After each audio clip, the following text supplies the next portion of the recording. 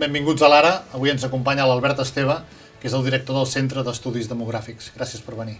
Moltes gràcies per convidar-me. Ja som 8.000 milions de persones. Això és molt o això és massa? Això d'entrada és més que mai en la història. Eh? Per tant, si ho comparem amb qualsevol altre període, és moltíssim. És massa, doncs veurem si sabem alimentar-nos tots i viure en pau i convivència i repartir els recursos, doncs no hauria de ser massa. En alguns llocs doncs, se sentirà massa la pressió i en d'altres menys, perquè ara tenim realitats molt, molt variants en funció del lloc del planeta que parlem. Fins quanta gent podem arribar a ser perquè el planeta aguanti, per dir-ho així, que hi hagi menjar per tots? Jo crec que els límits aquests no estan posats i crec que l'espècie humana s'ha demostrat una vegada darrere l'altra que pot alimentar molta més gent. Als anys 60 es parlava de la bomba de població mundial i que s'encaririen moltes coses i no es van encarir tant com van preveure. Vull dir que els factors a vegades que fan que s'encareixin les matèries primes, etc no estan necessàriament relacionades amb el volum de la població. Però quan les Nacions Unides diu l'any 2050 serem 9.700 milions de persones, sí. el 2070 serem 10.000 milions, Uh, I toca, Nacions Unides? A veure, Nacions Unides fa projeccions de població i bàsicament el que està passant és que l'Àfrica no està baixant la fecunditat com s'esperaven i el fet de que la fecunditat no baixi tant a l'Àfrica, doncs ells segueixen creient que la població creixerà molt. Mm, probablement no passarà tant com diuen ells, perquè, per exemple, les hipòtesis de fecunditat de la Xina jo crec que són més altes del que realment són. És a dir, ells preveuen que la Xina tindrà molts més fills dels que probablement hi hauran, i si això no es compleix, doncs no creixerem tant. De tota manera, eh, potser en 50 anys no, però en 60 o 70 anys la població mundial hauria de començar a créixer, perquè els grans països del món ja tenen menys de dos fills. Per tant, només queda l'Àfrica, diguem, com a gran continent, l'Àfrica subsahariana, on encara tenen més de dos fills. A la que allà comenci a caure per sota dels dos, ja estem programats per anar cre decreixent. De seguida anirem a la taxa de natalitat. Mm -hmm. Ara hem mirat endavant, però mirem un moment endarrere, mm -hmm. perquè fa quatre dies, el 2020, fa 20 anys, mm -hmm. érem 6.000 milions de persones. Sí. Per què hi ha hagut aquest creixement exponencial de la població? Hi ha hagut aquest creixement perquè hem aconseguit que moltes de la gent que neixi arribi a edat de tenir fills. És a dir, la mortalitat ha baixat molt, venim d'una època de fa 30 o 40 anys que van néixer moltes persones i ara en el món, no, no a Catalunya, però en el món en conjunt tenim molta població jove. I el fet de tenir tanta població jove fa que encara que no vulguin tenir molts fills, al ser tants potencials pares, la població encara està creixent. Estem veient en Damián, que uh -huh. ens han dit que és el bebè eh, que fa 8.000 milions de persones uh -huh. vives al món. Això és absurd? Té cap sentit dir que aquest és el que fa bueno, 8.000 milions? Eh, sí que és absurd, però entenc que Nacions Unides havia de, de simbolitzar, diguem, més o menys, i va triar doncs, aquest Damián... Com... Dominicà. No hauria de ser indi, que és allò on neixen més criatures? És probable, si no sé per quina, quina estan les raons geopolítiques que han fet que triguessin una persona dominicana. Però sí que és veritat, indi o nigerià o sobretot de l'Àfrica subsahariana, que és on hi ha més creixement demogràfic a l'època de Jesús, érem 200 milions de persones al món, mhm. -huh. surt el llibre del Gènesi i diu Déu els beneí dient-los sigueu fecuns i multipliqueu-vos, ompliu la terra i domineu-la. Li van fer cas. Sembla que sí, sembla que sí. No hauria de sortir un Déu ara que digués, escolta, frenem això? Frenem. Ja hi és, eh? perquè ara estem creixent molt per inèrcia, és a dir, estem creixent perquè tenim molta població jove a nivell mundial, però ja la gran majoria de països ja tenen menys de dos fills per dona, que vol dir que això ja, està, ja han posat el, el programa, diguem, perquè a 30, 40, 50 anys vista comencin a decréixer. Són 8.000 milions mal repartits en el globus? Bueno, no sé si mal o ben repartits, però sí que desigualment repartits, és a dir, no estem les densitats de població varien molt en el planeta i dins de cada país doncs, hi ha un procés d'urbanització molt fort que fan que la gent es concentri sobretot a les ciutats. Per tant, tenim ciutats molt denses, les grans metròpolis cada vegada més, més apretades i en canvi doncs, a, a llocs que havien estat poblats, com llocs més rurals, etc, en decreixement. No? a l'Àfrica està passant, s'està urbanitzant massivament, a la Xina també. Això és imparable, eh? Les ciutats tenen l'efecte crida i el sí. món rural es va buidant. Sí, sí, sí, això està passant arreu. Eh? Està passant arreu. Mm -hmm. Les migracions serveixen per equilibrar aquests desequilibris territorials? Al contrari, les, les migracions normalment, ara, per exemple, a l'Àfrica s'estan produint del camp a la ciutat, per tant, eh, encara exageren més, diguem, aquestes desigualtats. O aquí a Espanya eh, també hi ha hagut moltes, moltes migracions de gent jove de les províncies menys poblades cap a Madrid i Barcelona, i això ha fet que aquestes metròpolis creixessin per sobre de, de, damunt de la seva pròpia inèrcia demogràfica. Era bàsicament per, per, per arribada de persones de la resta del país si les migracions són necessàries, ni que sigui com a mà d'obra, uh -huh. eh, per què se'ls posa fronteres, per què se'ls posa tanques, per què se'ls posa murs, per què són mal vistos per la dreta i no només per la dreta? Bueno, suposo perquè tenen ja una certa recança i por de com articular l'arribada de tanta gent i els, el tema de com gestionar els drets polítics, com gestionar l'accés a l'estat del benestar, com això pot rebre la població majoritària, com això pot tenir una penalització en les eleccions, com d'això se'n pot fer una, una, una, un reclam electoral, eh, vull dir que ja juguen moltes coses, suposo. Uh, D'aquests 8.000 milions, quants són homes i quants són dones? Diria que està bastant ben repartit, però hi hauria d'haver més dones que homes. Per què? Perquè l'esperança de vida de la dona és més sí, llarga? Eh, és a dir, neixen, d'entrada neixen més homes que dones. Aproximadament neixen per cada 100 dones, neixen 103, 104 homes. A no ser que es faci de manera natural. A no ser a altres països, si es fa això del, de que hi ha una preferència per l'home, doncs s'ha vist que han arribat a néixer 118 homes per 100 dones. No? On passa això? Això ha passat a la Xina, ha passat a alguns països asiàtics, ha passat a la Índia, ara cada vegada menys, o com a mínim no, no se sap Però tant. com es fa per arribar a tenir un nen? Bueno, hi ha l'infanti... No, bàsicament el que es fa és l'infanticidi, diguem, femení, no? que ah, si s'atura a la, a la, Uh, si se sap que està embarassada. D'una noi... Carai. Eh, sí, sí. I llavors, uh, les estadístiques, sabem que de manera natural són 103 homes per 100 dones. Ara, després la mortalitat és superior entre els homes i això fa que a una certa edat ja s'ha equilibrat el nombre i sobretot avançada edat ja sobreviuen moltes més dones que homes perquè tenen millor esperança de vida. Un 12% més, aproximadament? Depèn dels grups d'edat, sí. A Catalunya serien les dones sí. als 85, els homes sí. a 79? Ah, l'esperança de, vida. de vida no, l'esperança de vida diria que està a 81 pels homes i 86 per les dones, i 83 de mitjana, hi ha com 4 anys de diferència. En l'edat mitjana, a Anglaterra, eh, l'esperança de vida estava als 30 anys. Ara estem al voltant dels 80 també a Anglaterra. La projecció és fins quan podrem arribar a viure? Bé, hi ha aquí els demòcrates optimistes i els pessimistes, llavors els optimistes... tu de quins ets? Jo optimista. Per, ah, per, pel mateix preu, optimista. Per, sí, pel mateix preu. Però hi ha gent que, que diu és que cada, cada, diguem, cada 10 anys guanyem dos anys d'esperança de vida, que vindria a ser que cada setmana guanyem dos dies d'esperança de vida, que cada hora guanyem 10 minuts o 15 minuts d'esperança de vida, i això eh, s'està mantenint aquest guany d'esperança de vida des de fa 40 anys sense interrupció. Per tant, podem arribar a viure 100 anys de mitjana? Sí, podríem arribar a això i superar, si segueix la ritme que portem en els últims 40 anys, sí. Llavors aquí el que s'està, el que, el que se'n i això és una cosa més tècnica, que, no, que es parla de... El que no se sap és si hi ha un mur, diguem, com per exemple 110, i d'allà no passarem, però el que estem aconseguint és que més gent arribi al 110 o si aquest mur s'està desplaçant també, no? i que el límit no està al 110, sinó al 110... Llavors ja els, els més optimistes de tots diuen que el mur també es desplaça. No? Però no s'hauria de calcular també l'esperança de vida amb salut? Correcte, ja es fa, ah, ja es fa. ja es fa, i realment abans he dit que de cada, cada setmana guanyem dos dies d'esperança de vida, doncs un fotuts i un bé. I per tant els que viuen millor fins més a prop de morir-se, qui són al món? Bueno, a Europa, a als països occidentals, i dins els països occidentals la gent que té estudis i la gent que ha tingut una vida més... Vull dir, el nivell d'educació està molt relacionat. Hi ha diferències importants a dins d'Espanya, de, dins del món occidental, d'esperances de, de vides en funció del nivell d'estudis, que estan al voltant de 3 o 4 anys de diferència. Això vol dir que un universitari... Té una esperança de vida més, més, més llarga, més dilatada que una persona sense estudis. Sí. Parlem dels fills. Ja ho has dit en dues ocasions. Sí. Ja hi ha països que les dones no tenen més de dos fills. Grans països que han anat... Molts països. Sí. Molts països. Mm. La mitjana mundial quina és ara, de fills per dona? Jo diria que està al voltant de 2,3 o 2,4. I a Catalunya? 1,2. Per tant, també aquí hi ha diferències de... A Catalunya hi tornarem, eh? Uh, hi ha diferències a continents. Sí, sí, sí.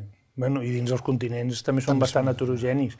Diguem, la majoria dels països de, del continent Amèrica, diguem, Amèrica del Nord, Amèrica del Sud, ja estan per sota de dos.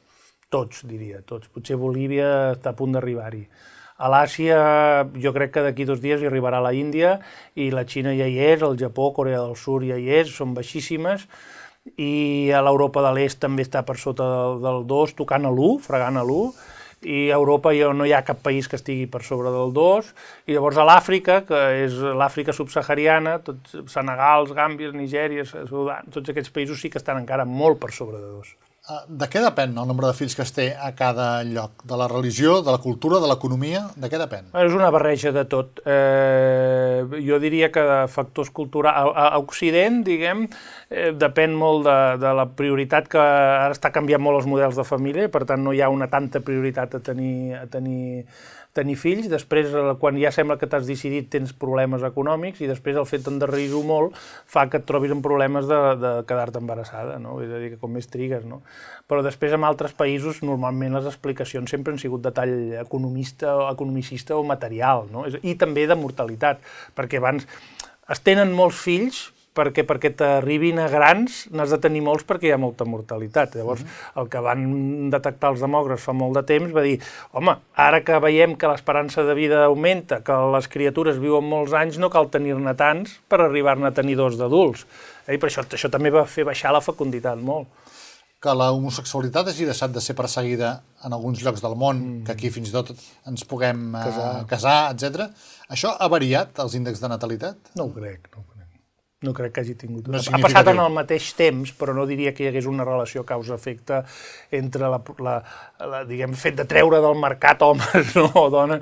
No crec que, no crec que hagi passat. Anem a Catalunya. L'any 87 la Generalitat va fer aquella campanya amb tant èxit de Som 6 milions. Uh -huh. Molta gent es va quedar amb els 6 milions. A mi em fa l'efecte que l'èxit de la campanya era la primera persona del plural, aquest som, som sí. inclusiu. Correcte. Sí? Sí, perquè eren uns 6 milions que no estaven fabricats tots a Catalunya. L'Anna Cabré, eh, directora del Centre d'Estudis Demogràfics, famosa demògrafa, va escriure aquest llibre del sistema català de reproducció que deia, bueno, Catalunya ha anat creixent en la seva història de manera la seva població per la, per la pròpia força dinàmica demogràfica, els fills que es tenien aquí, però sobretot per l'arribada d'immigrants. No? Ara quan som?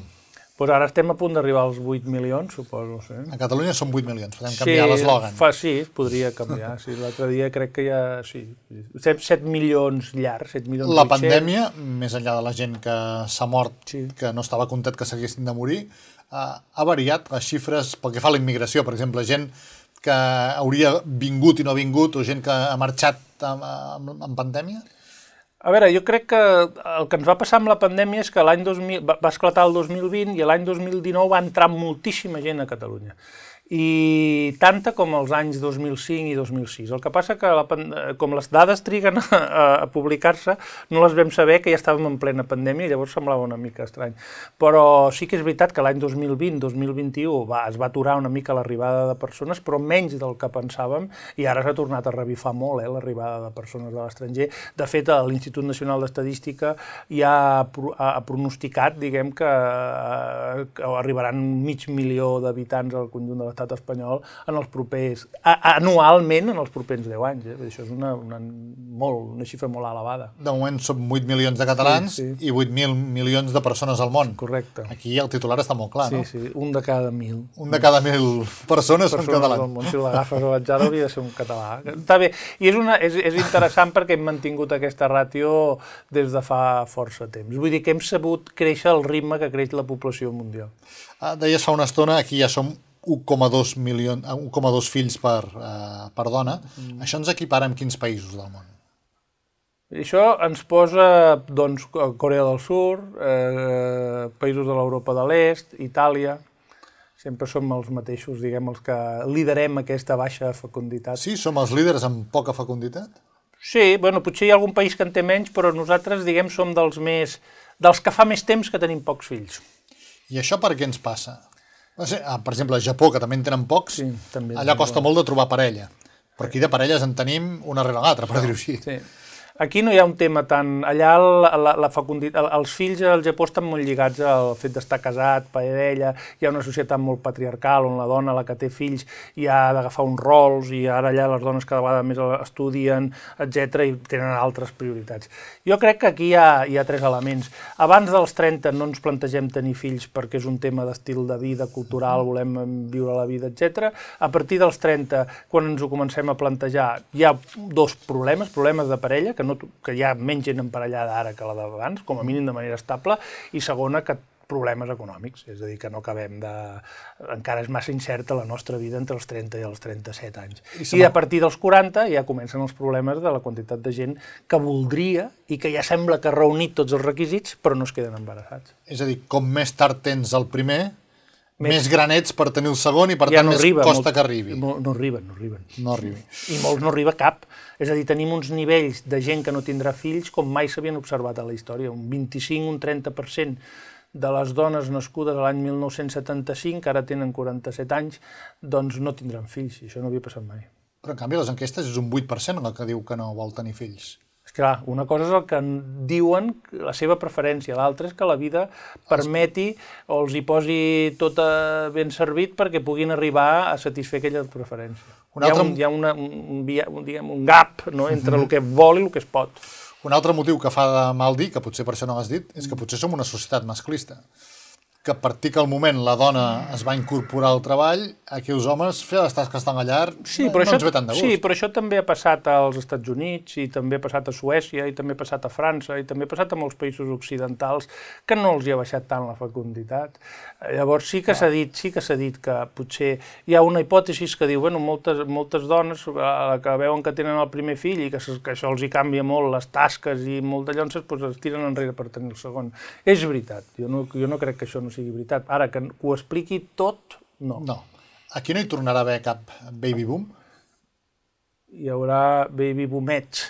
És a dir, a veure, nosaltres tenim una distribució de la població, que tenim els baby boomers, que som les persones nascudes entre l'any 60 i l'any 75, que vam produir un, un, un, una rèplica del nostre baby boom, però molt més petitó, que van néixer, són aquests que van néixer entre l'any 2000 i l'any 2008, que ara estan omplint les universitats, i teòricament aquesta gent d'aquí 10 o 12 anys haurien de crear un mini-mini baby boom, no? Estarem com a la tercera rèplica, no? Però cada vegada més petitona. Cada vegada més petita. Mm. Uh, una vegada vaig sentir a la cadena SER parlant amb en Josep Ramoneda ah, sí.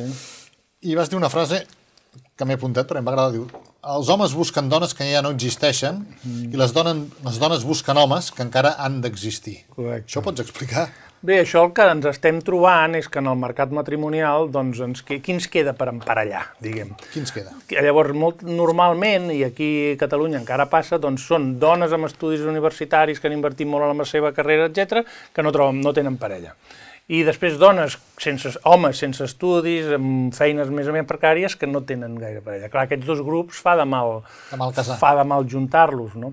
Clar, hi ha hagut un canvi molt gran en la posició de la dona en la societat, eh, que ha fet que s'igualessin, diguem, les, les, les, les criteris de cerca en el mercat matrimonial, però que aquest canvi no ha estat acompanyat per un canvi de mentalitat per la part masculina, llavors quan la dona, a l'augmentar el seu nivell d'exigència, doncs es troba que el que troba en el mercat no és suficientment del seu agrat i per tant prefereix potser no emparellar-se de manera tan estable com si hauria emparellat si hagués trobat uns candidats masculins molt més preparats al seu, al aquest canvi d'exigències. No? Els catalans o les catalanes ens emparellem encara amb catalans i catalanes? Bueno, la gran majoria sí, però també és veritat que quan tu mires la, la pauta de quins, quin tipus de catalans s'emparellen amb persones de l'estranger i quin tipus de catalanes s'emparellen amb dones de l'estranger, veus claríssimament que els homes catalans que s'emparellen amb dones de l'estranger són amb dones d'Amèrica Llatina, de l'Europa de l'Est, etc. Mentre que hi ha molt poques dones catalanes que s'emparellin amb homes d'aquests amb homes d'aquests orígens. orígens. Busquen orígens més eh, nòrdics, eh, etc., que és una mica aquesta cosa de que les dones d'aquí, com no troben en el mercat local el que busquen, van a buscar a països que sí que els hi forneixen aquests... aquests I pel que has dit dels homes, el que busquen que és eh, afalac, carinyo... Eh, sí, és un altre... Diguem, abnegació. clar, el model, el, el model tradicional de que l'home és el principal proveïdor de la llar i la dona, si té un, una, una segona una feina, és una feina més complementària, doncs té una certa inèrcia encara. I llavors en aquesta inèrcia els criteris, diguem, de cerca de molts homes no és necessàriament que la dona dona sigui una, un, un, una, una persona molt integrada en el mercat laboral, amb un gran sou, etc. Vull dir, no, no, no, potser no ho prioritzen tant, i, i eh, vull dir que... Per tant, hi ha dinàmiques que... internacionals de qui s'emparella amb qui? Sí. De fer un dibuix? Sí, jo ho he estudiat, això, sí, tinc ara un article en vies d'examen de, sobre aquest tema, sí. I alguna I, conclusió que bueno, hem vist, hem vist precisament que els homes d'Occident s'emparellen amb dones d'altres mercats, però normalment de països amb, amb nivells de desenvolupament més baixos, de països més pobres, etc. En canvi, eh, no és habitual que les dones d'Occident s'emparellin amb, aquests, amb aquest tipus de, de persones d'aquest mateix origen. No? Hi, ha, hi ha unes asimetries molt clares entre homes i dones. Per tant, pel que acabes de dir, els catalans seguirien més o menys el mateix sí, patró. Sí, amb això sí, sí, estem bastant alineats en el... Pel que fa a l'emancipació, els Estats Units s'emancipen de mitjana als 20 anys, Aquí a quina edat estem? Bueno, aquí els, tre els 30 a la meitat estan a casa encara. Amb 30 a la meitat estan sí, a casa? Sí, amb, amb, amb les dones menys que els homes, però, però sí, molt alt. Amb això també tenim el rècord mundial? Jo crec que sí. Jo crec que sí, perquè és veritat que hi ha països com a la Índia que potser n'hi ha més, però ja és perquè allà hi ha la cosa de que quan et, aquí quan et cases o tu neixes ja marxes. Aquí estan com a solters. Eh? Però jo diria que sí, que estem dels, dels campions mundials de l'emancipació tardana. uh, I això se m'acuden dos motius. Uh, que cobren poc per la feina que fan, si és que tenen feina, els joves, i que l'accés a l'habitatge és, és impossible pel preu. Sí, jo crec que hi ha uns condicionants econòmics i materials que dificulten l'emancipació, però també vull creure que també hi deu haver una part de que tampoc es veu com un... culturalment està acceptat, perquè si, si jo crec que als Estats Units, si tens un fill de 24 anys que viu amb els pares, viuen com, veuen com un bitxo raro. Què li passa? Que no està malalt? No sé què vol. Estic fent broma, eh? Sí, sí. Però, però a Suècia igual, vull dir, és inconcebible que una persona de 24 anys visqui amb els pares. És que és, seria com una taca social, alguna està passant en aquesta família, mentre que aquí és el més normal del món. I aquí hem vist que gent amb feina, també té, viu molt amb els pares. Llavors jo crec que es valora molt el cost d'oportunitat de dir, bueno, la vida que tinc amb els pares, si jo, per exemple, imagina't, ara posem un cas, no?, de que tens uns pares que viuen en un barri bo, en una casa amb condicions, etc, que no tens germans, que no tens competència, que els pares són superxulos i, i, i, i bons col·legues i se'n van als caps de setmana, etc. I ara t'has de gastar els 1.500 euros que cobres, que no és un mal sou, a pagar-te un pis en un barri pitjor, compartit i tal. Que te'n costarà tots, 1.100? Que, que te'n costarà 1.100 i aquí tinc tots els luxes i no tinc una necessitat d'emancipar-me perquè no tinc una parella, no vull formar sí, una sí. família. Jo crec que algo, algo cultural també hi ha, eh? encara que els economistes no m'ho deixarien dir això, jo crec que algo d'estil, de, de manera de ser també deu haver. En els últims anys s'ha parlat molt de la Catalunya buidada, de l'Espanya vaciada. Mm. Amb la pandèmia hi ha hagut un retorn, ara que es pot teletreballar des de qualsevol lloc, o, o això quedarà a veure, cada vegada més buit? Sí que s'ha vist un repunt de, en alguns municipis que ha augmentat el nombre d'empadronats. L'explicació més, menys romàntica és que, que són gent que tenien dues residències i llavors van decidir empadronar-se amb la segona residència.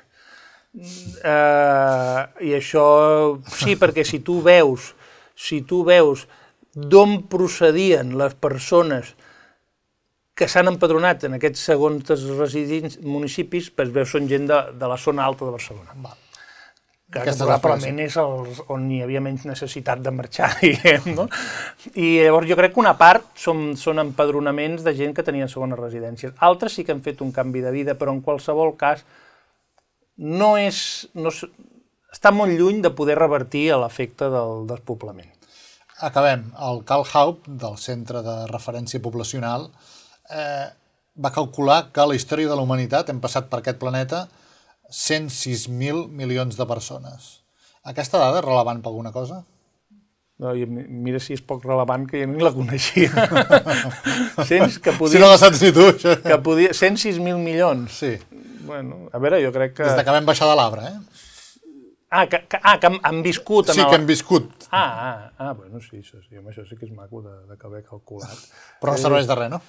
Bueno, però això és per la- per l'estadística, per, per acabar una entrevista de l'ara. Ens, no, ah, però no volia acabar d'una altra manera.